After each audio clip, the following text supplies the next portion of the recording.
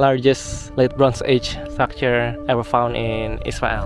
We are here guys at Khirbet Qeiyafa, built during the United Monarchy either by Saul or David and you know the battle uh, between Israelites and the Philistines happened in the valley of Elah which is over there. The other gate is this one and that's why it's called Sa'araim. Guys it's been a while in Tel Burna, and this is the final day of the dig and the cleanup. Tomorrow we'll come back here but no work. So I'll just show you the final result. It's in front of me. Let's see. This is the final result and we're just brushing to clean up. So this is from late Bronze Age. You can see here it's actually continuation from previous excavation there was a cultic site over there and here there is like a monumental buildings you can see the northeast wall perhaps the largest late bronze age finding in Israel.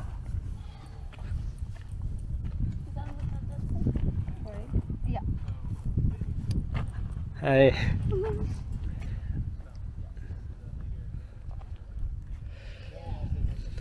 and here is the bedrock. So nothing more here already dismantled in the past. Okay. Let's go there.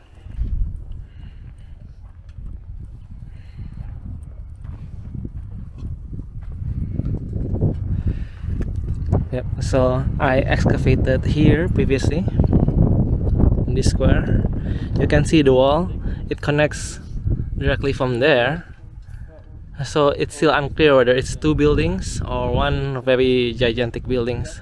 You can see the wall of the building I think one and a half meters.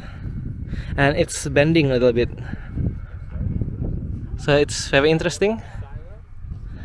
The whole wall here largest late bronze age building structure ever found in Israel we are on a hill and you have to believe me that without this vegetation and trees you can see both light on the one hand and Una on the other end. Um, they didn't tell us and by us I'm meaning if it's a real salvage excavation then someone is going to build a road or something. I don't see it's in the middle of nowhere Guys, it's in the afternoon after the excavation, there's sweet time, so now I'm walking around the kibbutz and we are in the valley of Elah, the battle place, the battleground between the Philistines and the Israelites, where David actually fought Goliath. It's right behind me, all the valley. I'll show you.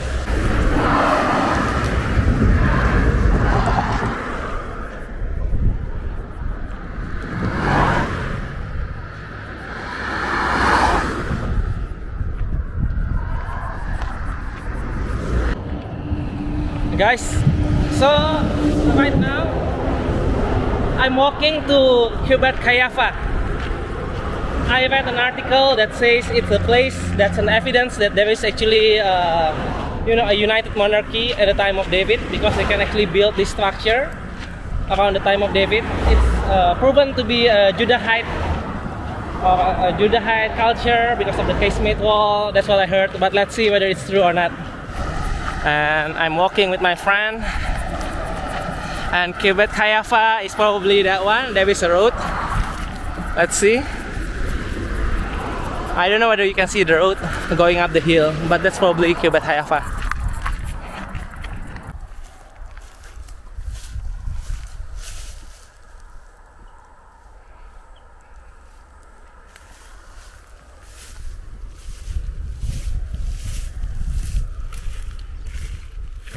going there.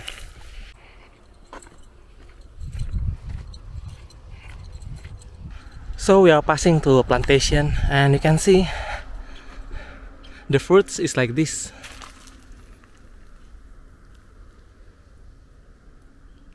Yeah, I don't know what it is.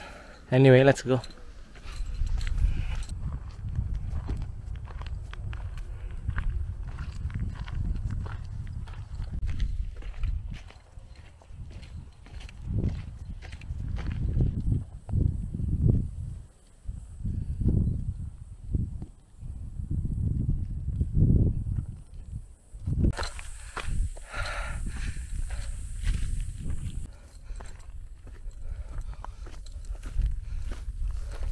We are here guys at Khirbet Qeiyafa. It's this one. You can see the wall. And there's a gate there. Maybe we go to the gate. And there are two gates. That's why some scholars believe this is means two gates in the Bible.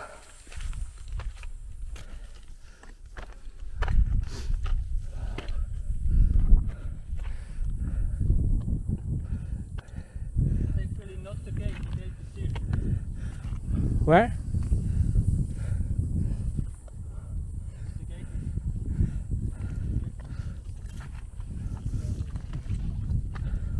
I think it's this one. This is the gate.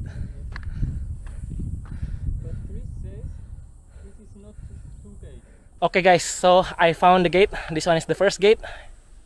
You can see it's right behind me.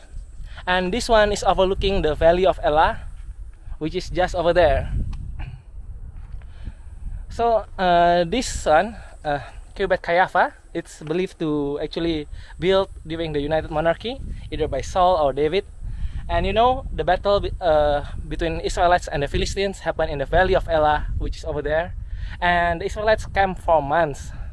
So they might actually do something rather than doing nothing. Uh, if you read the story in the Bible, they are actually uh, camping on one side of the hill, which is probably this hill. And probably they built this when they camp and wait for the big battle. And the Philistines probably, uh, it says on the other hill, it's probably that hill over there.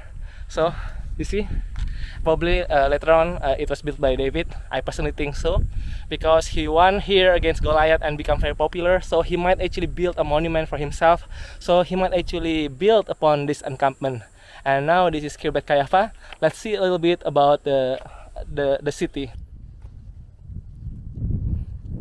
okay, so let's go there but we shouldn't walk on top of this. Let's circle because I just saw there is a line there. So probably we shouldn't walk here. So let's go back and circle from there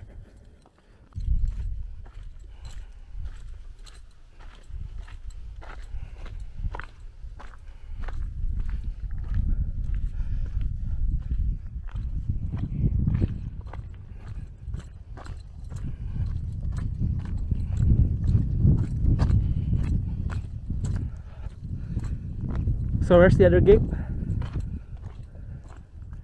This is the casemate wall, typical Judean architecture since King David apparently.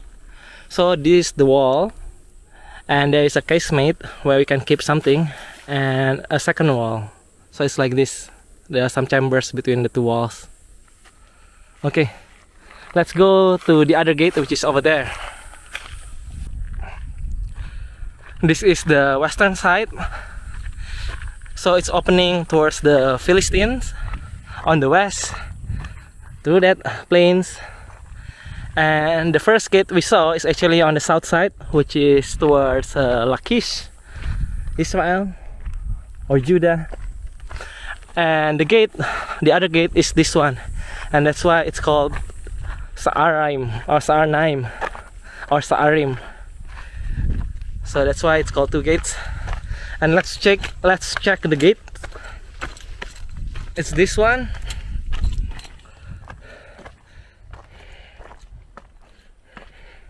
So it seems like it's a four chamber gate.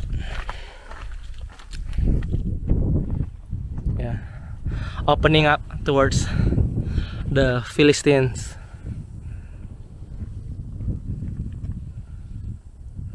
So that's it about Sa'arim Khirbet Qeiyafa. It's this amazing and actually it's so big because the wall actually circle the hill and we don't see everything. Okay, let's go back.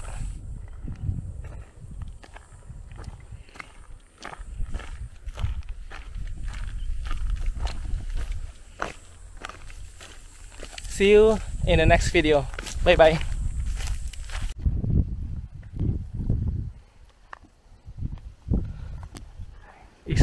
Gazal.